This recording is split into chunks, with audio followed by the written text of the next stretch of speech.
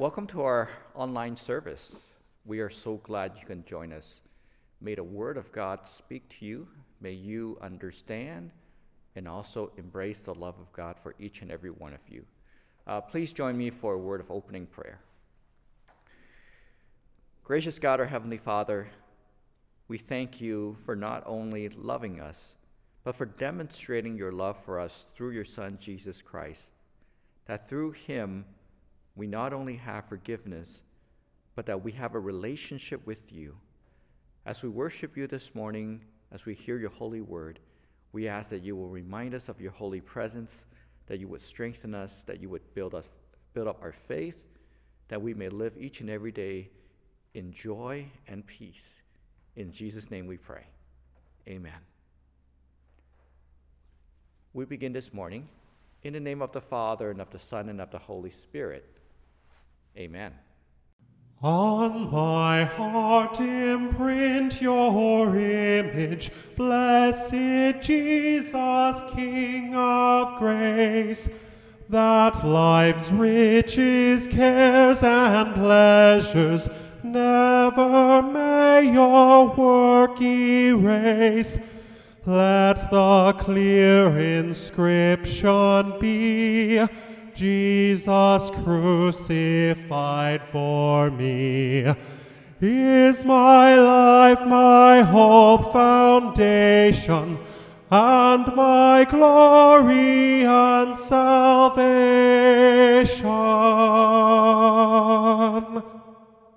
On my heart imprint your image, blessed Jesus, King of grace, that life's riches, cares, and pleasures never may your work erase.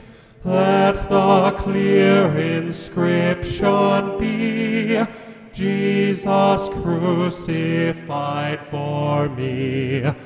Is my life, my hope, foundation, and my glory and salvation?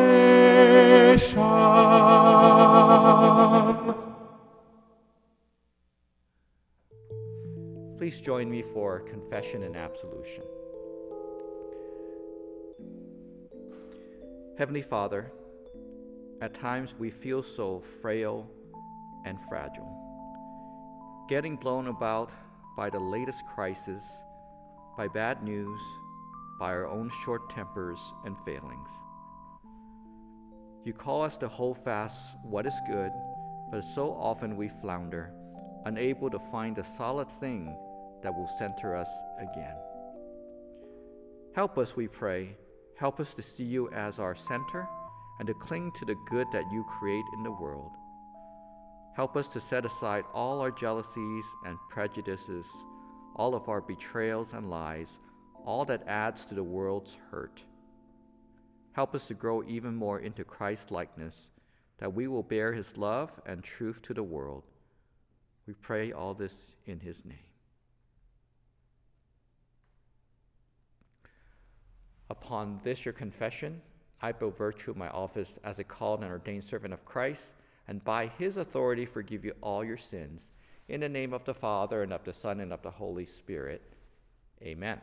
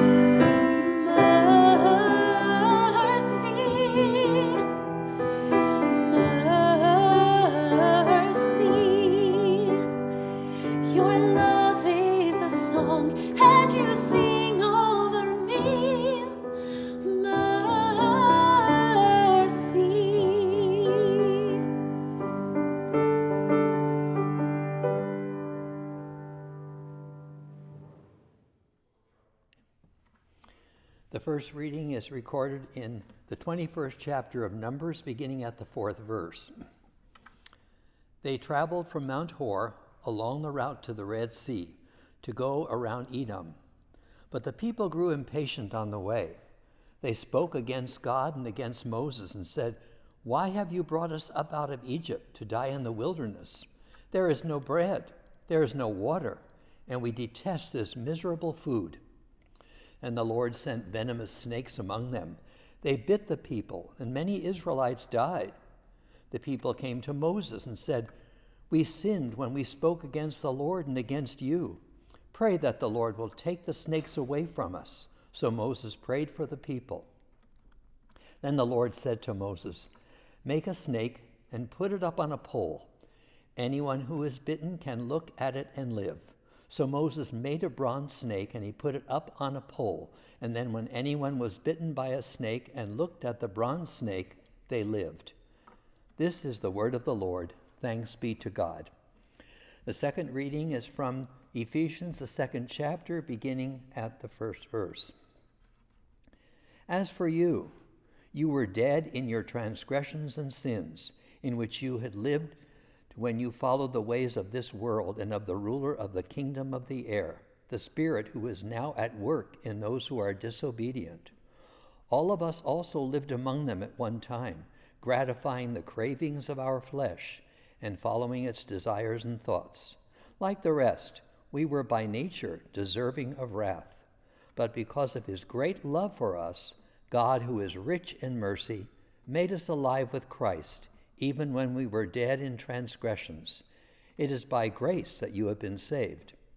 And God raised us up with Christ and seated us with him in the heavenly realms in Christ Jesus, in order that in the coming ages he might show the incomparable riches of his grace expressed in his kindness to us in Christ Jesus. For it is by grace you have been saved, through faith, and this is not from yourselves, it is the gift of God, not by works, so that no one can boast. For we are God's handiwork, created in Christ Jesus to do good works, which God prepared in advance for us to do. This is the word of the Lord. Thanks be to God. The Holy Gospel is recorded in St. John, the third chapter, beginning at the 14th verse. Just as Moses lifted up the snake in the wilderness, so the Son of Man must be lifted up, that everyone who believes may have eternal life in him. For God so loved the world that he gave his one and only Son, that whoever believes in him shall not perish, but have eternal life. For God did not send his Son into the world to condemn the world, but to save the world through him. Whoever believes in him is not condemned, but whoever does not believe stands condemned already, because they have not believed in the name of God's one and only Son. This is the verdict light has come into the world, but people love darkness instead of light, because their deeds were evil. Everyone who does evil hates the light and will not come into the light for fear that their deeds will be exposed. But whoever lives by the truth comes into the light, so that it may be seen plainly that what they have done has been done in the sight of God. This is the gospel of the Lord. Praise to you, O Christ. We're so glad you can join us today. I pray that God's word will speak to it to you. Now, one time there was a young man, and he came across a woman. It was like love at first sight. I mean, he instantly fell for her. And so at that moment, he didn't know what to do. They seemed to have some chemistry, and so he decided to ask his mother. He told, Hey, mom, there's this girl that I just met. I'm head over heels for her. What should I do? Well, his mother suggested, Why don't you buy her some flowers? And then with the flowers, enclose a card. And in the card, invite her over to your place for a homemade dinner. And so he, so he sounded really excited and he decided to execute the plan. So he bought her some flowers and on the card wrote, uh, Please come over to my place for a homemade meal. Well, this one week later, this all happened, and his mother was curious about what happened. So she calls the son up, Hey, son, what happened? How was the date? Well, he said, Well, it was a disaster. Well, what happened? Did she come over? She said, Oh, she did, she did come over, but she refused to cook. yes, this morning's sermon is about love. Now, last week, I talked about that verse. Um, uh, it was in 1 John 4:18. There is no fear in love, but perfect love drives out fear, because fear has to do with punishment. So the more we understand the love of God, when the love of God permeates more than head knowledge and becomes heart knowledge, the more we understand and grow in the knowledge of the love of God, our fears begin to be lessened. And, and as we understand this more, the fears begin to disappear. Um, 1 Timothy 1 7, for God has not given us a spirit of fear, but of power and of love and a sound mind. This morning, I want to continue to talk about God's love. And in our gospel lesson this morning, uh, we have the most famous verse. Some people calls it the gospel in a nutshell, or the center of the entire Bible, which is John 3:16. For God so loved the world that he gave his one and only son that whoever believes in him shall not perish but have eternal life. Now this leads to my first point. God's love for you is unconditional. For God so loved, that word loved in the Greek, the word loved for, for, in the Greek, there's four words for love in the Bible. Now the first one is um, the first one is eros, which is where we get the word romantic uh, in nature. Um, romantic love, which is reserved for, for marriage. And then we also have the second word, stor- storge. It means family love, fam- a love between parent and child, brother and sister. And then there's the third word for love in the Greek is philos, is where we get brotherly love. It's where we get the word, uh, the name Philadelphia, which means the city of brotherly love. And then the highest form is what is used in this verse. For God so loved, the word is agape. It is the highest, purest form of love called unconditional love. So, for God so unconditionally loved the world. Now, the world, this word here, we're familiar with it because in the Greek it's the word cosmos. But in the Greek, the word cosmos is defined as the ungodly multitude the whole mass of men alienated from God and therefore hostile to the cause of Christ. So here, for God so unconditionally love this world that is hostile to him, that he loved us so much that he gave us his son. So here you see a God that loves all of us universally, every single person on the planet uh, on this planet unconditionally. God's love is universal, God's love is unconditional. Many years ago, there was a um, conference, a, a, conference on, um, it's called Comparative Religions. Now, they were talking amongst them, these scholars, about different religions, and a topic came up what makes Christianity unique? Well, one person said, the incarnation. God became one of us and lived among us. Well, another person objected. Well, Christianity is not the only one that has that concept about a God becoming human. We have that in other religions as well. Then another person pointed out no, it's the resurrection, how Jesus rose from the dead. And then another person pointed out, well, well, someone coming back from the dead is not new either. We see that in other religions as well. And so they kept going back and forth, they, they kept debating. And then C.S. Lewis, he walks into the room. Apparently, he was scheduled to speak. So he comes in a few minutes early, has a stack of papers. Um, because he was early, he decided to sit down and listen to conversation. Now, debate started getting heated over what makes Christianity unique. And then he said, What is the rumpus?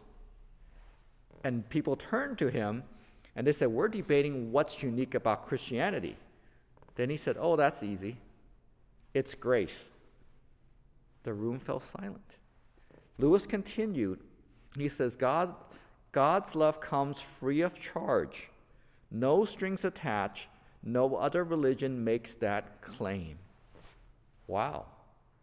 Lewis had a point there. As they thought about it, they thought about different religions. Well, the Buddhists, they have an eightfold path to enlightenment. It's not a free ride. The Hindus believe in karma. So your action continually affects the world around you. Okay? And then there's the Jewish laws and codes, God's requirements for his people. And then you have Islam, who believes that God, their God is a God of judgment, and you need to live righteously to appease him.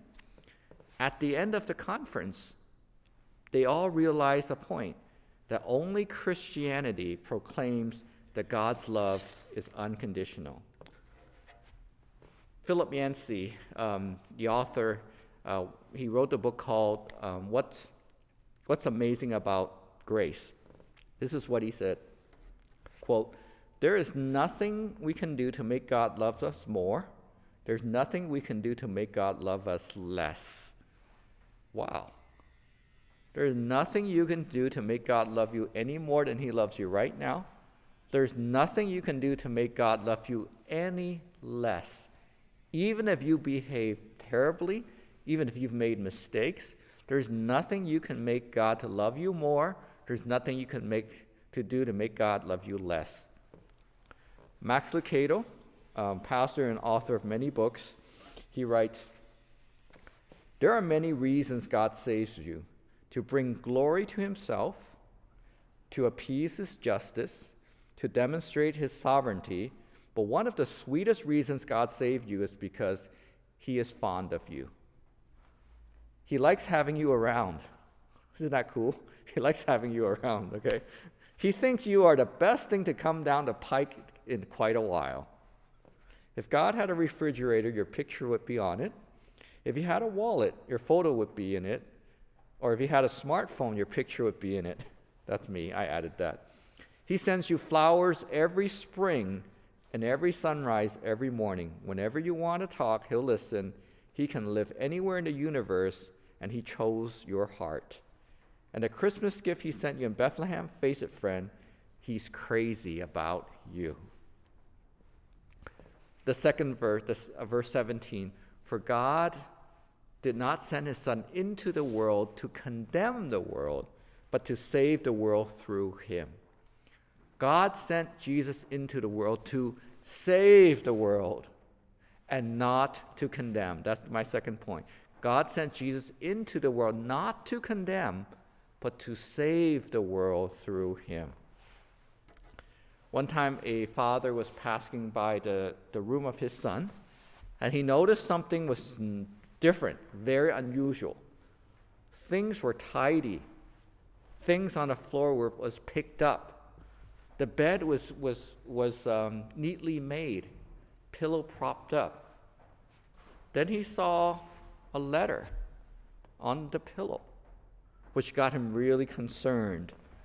So he opened the envelope, and there was a letter addressed to dad. Now, this would be a parent's nightmare because did his son run away? He opens the letter. The letter says, Dear Dad, it is with great regret and sorrow I'm writing to you. I had to run away with my new girlfriend because I wanted to avoid a scene with, you, if, with mom and you. I've been finding real passion with Stacy, and she is so nice. But I knew you would not approve of her because of her piercings and tattoos, um, her motorcycle lifestyle, and the fact that she's much older than I am. But it's not the only reason. Dad, she's pregnant. Stacy said that we will be happy. She owns a trailer in the wood, has a stack of firewood for the whole winter. We share a dream of having many more children. Don't worry, Dad. I'm 15. I know how to take care of myself. Someday I'm sure I I'm sure that we will be back to visit so that you can get to know your grandchildren. Love your son, John. Then it says, P.S. Dad, none of the above is true. I'm over at Tommy's house. I just wanted to remind you that there are worse things in life than a report card that's in my desk drawer. I love you. Call me when it's safe to come home. I know that's a joke, but it illustrates a point that when we are afraid, when we're concerned about condemnation, we run away. We keep a distance from God. You see, perfect love drives out fear. Fear has to do with condemnation and judgment. When we are still afraid, when we are still concerned whether God loves us, we struggle with fear. Perfect love drives out fear. And so for this boy, it was his poor grades. He was afraid that his dad would give him a whipping. But perfect love drives out fear. A perfect example of that is found in John chapter 8. Now, if you remember the story, there was a woman who was uh, caught in the act of adultery. That's according to the text. Now, if you examine the text, it seems like this was a setup. Okay. Where is the man? She cannot commit adultery by herself, but according to the text, she was caught in the act of adultery. She was dragged through the streets and thrown at the face of Jesus. And so the, the, the, religious leaders and the people said to Jesus, what do, you, what do we do with her? According to the law of Moses, we ought to stone her. What do you say, Jesus? Now, this was a complete setup to trap Jesus. Jesus knew that. If Jesus say, stone her, this would compromise his mission to come save us. Because the Jewish people were not allowed to take anyone's life. only the Romans had the right to execute. So if Jesus said stone her, then he would be in trouble. But if Jesus said, just let her go, leave her alone, then they would accuse him of being a false teacher, someone who does not respect, obey, and honor the Old Testament. Because according to Moses, according to Moses in the Old Testament, when someone commits adultery, they ought to be stoned. And so they pressed Jesus. What do we do? What do you, what do you say we should do? This was a no win situation. Well, Jesus kept writing on the ground. He kept writing. And they kept pressing him. What do we do? Then notice what he said. He stood up and this, he said, He that is without sin cast the first stone. He that is without sin cast the first stone. Wait a minute. Who has the right to cast that stone, to cast judgment? Only Jesus. What did he do? Did he cast the stone? No. And then it says, from the oldest to the youngest, because they realize the older they have been, the more sin they have committed, from the oldest to the youngest, they left the, they left the scene. And Jesus said to the woman, Woman, where are they? Has no one condemned you? No one, sir, she said. Then neither do I condemn you. Go now, leave your life of sin. There seems to be at least two lessons here. First lesson is you and I have no right to cast a stone. You and I are sinful people. Only God has the right to judge anyone. You and I, we, We are saved by grace alone, by the unconditional love of God. We don't deserve it, so we can't cast that stone. Only Jesus could. But instead of casting the stone, he didn't come to judge, rather, he came to save the world through him. And so not only did he forgive her sins, but he saved her life and gave her the power to change. Go, sin no more. For God so loved the world that he gave his one and only Son, that whoever believes in him shall not perish, but have eternal life. The third point is God's love for us is sacrificial. It cost him everything. In the Old Testament, um, once a year, it's called a Day of Atonement. Once a year, there's a ceremony that they would bring two lambs into the temple court. Both lambs have to be without blemish. One of the lambs, they would cast lots, so one of the lambs will become the scapegoat, the other one will become a sacrific- the sacrificial lamb. The one to become the scapegoat, the priest will come before this lamb and lay his hands on the lamb.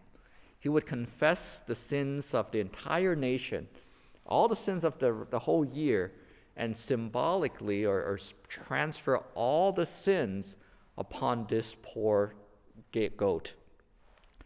And then after the ceremony was over, someone were to walk and take this uh, goat, is where we get the word scapegoat, takes this goat, even though this goat had done nothing wrong, walk it out of the city and into the wilderness to make sure that it would not survive out there. Take it somewhere where it would not survive.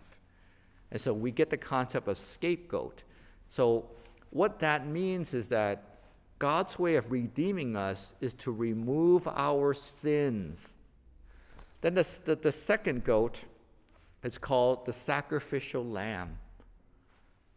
The lamb would die for the sins of the, of the entire nation, which is a picture of what God had drawn up for, for how Jesus would be sacrificed. Now, Jesus was nailed on a cross outside of the city of Jerusalem, scapegoat. He didn't commit any sins, yet he was taken out of the city, sin removed. On the cross, he died as a sacrificial lamb without blemish. That means not a bone in his body was broken. He sacrificed himself. He never committed a sin. He died for our sins so that we can have that relationship restored with God.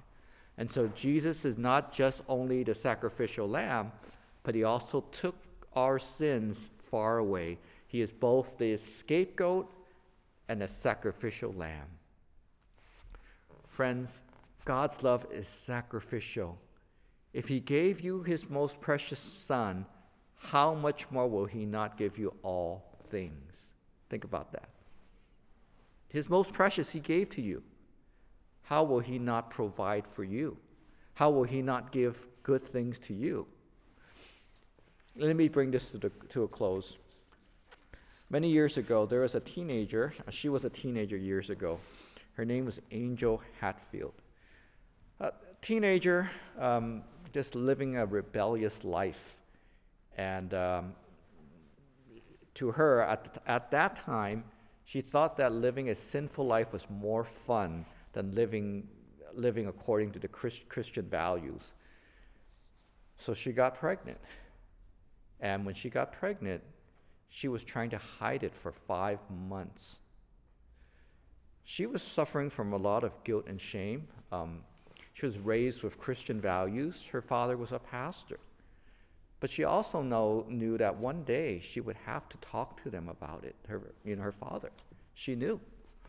She was walking around with a lot of shame and guilt. She knew that if someone found out, they would condemn her. Well, she knew that that day would have to come, that she would have to have that conversation with her father. She thought about, you know, secretly, you know, getting the procedure done. Then all that shame would be all gone. She thought about it. But that one day, she had the courage and finally decided that she had to talk to her father. When she sat down with her father, her father's head was down. He hung his head. He sat there in silence. She felt his disappointment already. And then she told her what happened. Her father raised his head and looked at her with tears in his eyes, and he said, Honey, I am so disappointed. I am. And you have made poor choices which now have consequences, he continued. It won't be easy. There will be struggles and a hard path ahead of you. But I love you, and now I figure I have been given more to love. She didn't expect her father to say that. Her, the tears ran down her eyes, and she said, I am so sorry, Dad. I am so sorry. Will you forgive me, please? Of course. She didn't expect that. She didn't expect unconditional love. She expected condemnation from her father. But she, because she experienced unconditional love, it was not shame that drove her, okay? It was unconditional love that changed her. She decided to, to, she decided to make some better decisions, to turn her life around. Yes, raising a child will be a tougher path ahead, but she chose that path. And because she did, later on in her life, she was able to help many women, unwed women, who, you know, teenage, with teenage pregnancy. My dear friends in Christ, when we experience the unconditional love of God, not just from our head, but down to our heart, it changes us. Maybe there's somebody in your life that needs unconditional love. Maybe there's somebody in your family that needs a demonstration of God's unconditional love. Shame and guilt won't change people. It is the unconditional love of God that does. The last time I read about her, um, she was uh, living in uh, LA, I think seven kids or something. Radio, she was invited as guest on, you know, to be guest on radio, sh- radio shows. She had done a lot in the area of helping women. Shame didn't change her, but the unconditional love of God did. God loves you unconditionally. God sent Jesus to save you and not to condemn. God's love is sacrificial. Amen. Please join me for a word of closing prayer. Father, we thank you for your unconditional love. You demonstrated through your Son Jesus, who became our scapegoat and our sacrificial lamb. He did nothing wrong, but you gave him as a sacrifice for all of our sins so that we can be made right with you, so that our relationship can be restored. As we come before you this day, Father, you know our needs and desires. You know all of us. You know our fears. You know what we're concerned about. And we ask that your perfect love will now just invade our hearts right now. That we would experience the freedom of your love. That your perfect love will drive out every fear in our lives Help us to keep you front and center as we continue to lift up our congregation into your hands. As we begin the steps of reopening, we ask for your protection. We ask for joy as we can celebrate together again. We ask for peace. And we ask that you will continue to um, continue to protect people who are not comfortable coming back yet. We thank you for hearing all of our prayers. In Jesus' mighty name we pray. Amen. Please join me for the Lord's Prayer. Our Father, who art in heaven, hallowed be thy name. Thy kingdom come, thy will be done, on earth as it is in heaven. Give us this day our daily bread, and forgive us our trespasses, as we forgive those who trespass against us. And lead us not into temptation, but deliver us from evil. For thine is the kingdom, and the power, and the glory, forever and ever. Amen. Receive the Lord's blessing. For I know the plans I have for you, declares the Lord plans to prosper you, not to harm you, plans to give you hope and a future. Go in peace. Amen.